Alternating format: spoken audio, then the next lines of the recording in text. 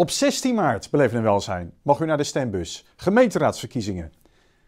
Tolen is een prachtig gebied van rust en ruimte, waar mensen omzien naar elkaar.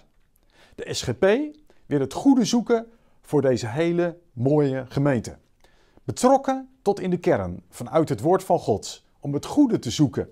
Op alle fronten, of het nu om leefbaarheid gaat, of veiligheid, eh, de armoedebestrijding. Het zijn allemaal thema's die de SGP Tolen hoog in het vaandel voert. En daarom roep ik u van harte op, breng uw stem uit op de SGP.